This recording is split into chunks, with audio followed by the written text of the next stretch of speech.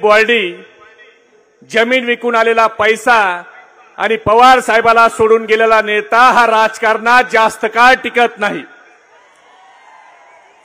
आज बजरंग बाप्पा सोनवणेला आपण उमेदवारी केली पवार साहेब. जी लोक दोन हजार एकोणीसला घसा ओरडून सांगत होती की बजरंग बाप्पा सोनवणे कसे शेतकरी पुत्र आहेत कसे चांगले आहेत तेच लोक आज घसा ओरडून सांगतायत.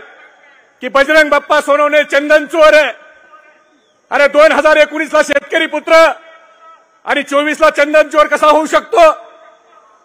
ती लोक सांगतात दोन कारखान्याचा मालक हा शेतकरी पुत्र कसा?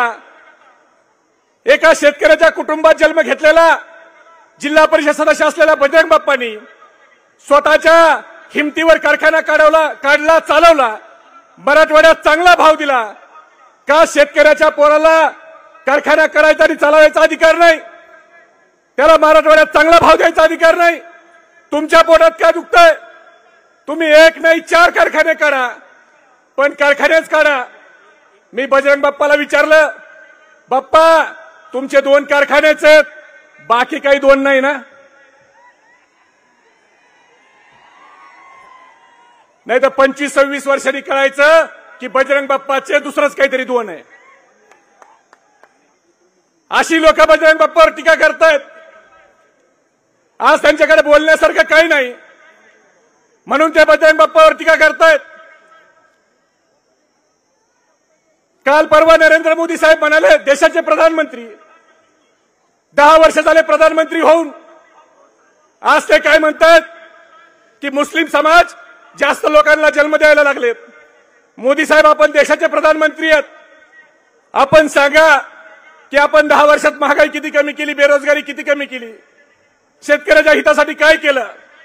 पण हे न सांगता आपण सांगताय की मुस्लिम समाजाच्या कुटुंबात जास्त अपत्य जन्माला येत आहेत म्हणजे तुम्हाला आता जातीपातीकडे निवडणूक घेऊन जायची आहे. मोदी साहेब हम दो हमारे दोचा कायदा झालाय दोन हजार दोन पासून.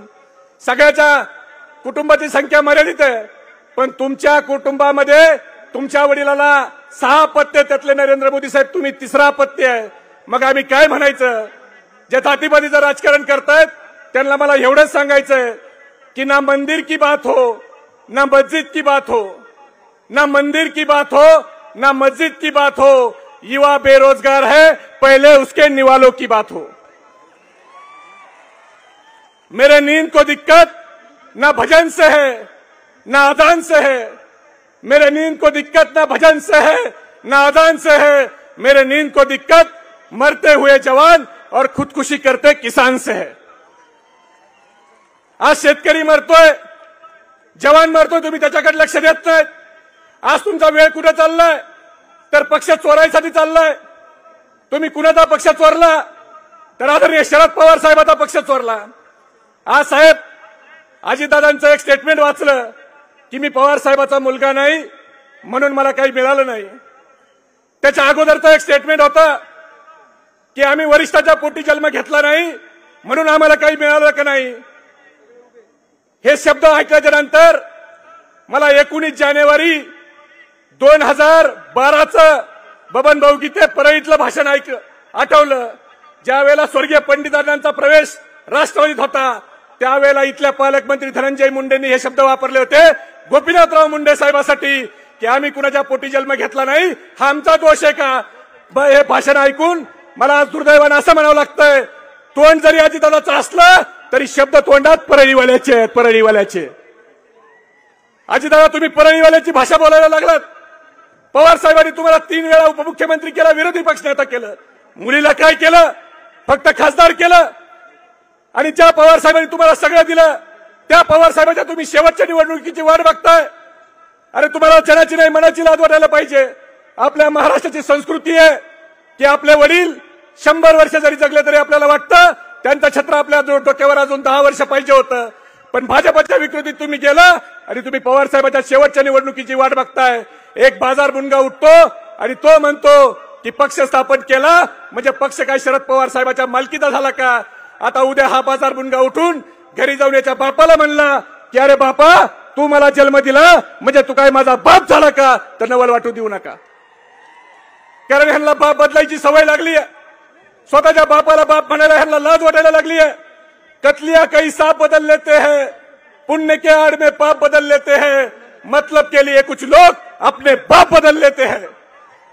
आणि अशी बाप बदलायची टोळी ही आपल्याला घरी बसवायची आहे. मग इथं या जिल्ह्यातली दादागिरी दहशत ही संपवायची आहे. त्यासाठी आपल्याला बजरंग बाप्पाच्या तुतारी या चिन्हावर तेरा तारखेला बटन दाबायचंय आणि बजरंग बाप्पाला खासदार करायचंय. करणार का सगळे खासदार? एवढा कमी आवाज. पवार साहेबाला विश्वास द्या.